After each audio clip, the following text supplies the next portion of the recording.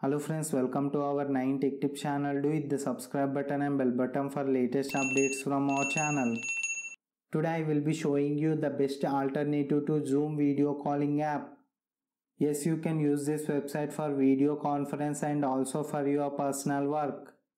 Just open the browser and do a search for say namaste like this. Visit this website now. I will show you how to create a new meeting.